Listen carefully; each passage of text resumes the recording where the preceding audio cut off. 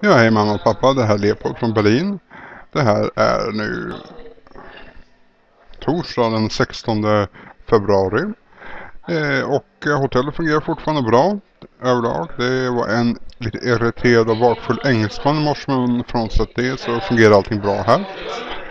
Eh, idag har jag tagit lite lugnare för att mm, ja, titta igenom butiken som jag har där i närheten och få en känsla av hur området är. Så mest vandrar runt omkring i närområdet. Där till har jag också åkt lite mer M-banor. Och jag tänker titta lite grann på hur ytterstäderna ser ut och eh, som sagt det är varierat.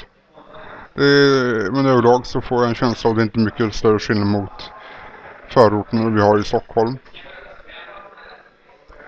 Eh, en sak som hände idag som var intressant och värt att nämna var att jag stötte på en, en grupp med italienska studenter som eh, hade kommit hit till Berlin och deras problem var att de inte kunde så bra engelska. De kunde italienska och dålig engelska. Det blir en spännande sak för dem att uppleva för det är väldigt få här i Berlin som kan engelska särskilt bra. Eh, och så har jag också hittat eh, färdrätter för 1,79 euro. Eh, som man kan ha förvar i rumstemperatur vad jag kan förstå. Och eh, det kan man ha ett par månader i alla fall. Så jag har löst matfrågan med lite mindre resurser än vad jag hade tänkt från början.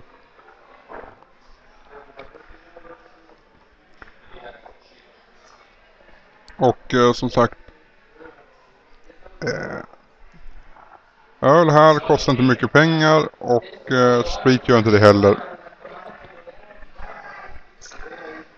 Ja, idag är inte mycket att berätta för det har varit en lugn dag för mig. Får pröva igen och se om vi gör någonting mer roligt imorgon. Vi hörs och syns. Jag saknar er två. Hej då.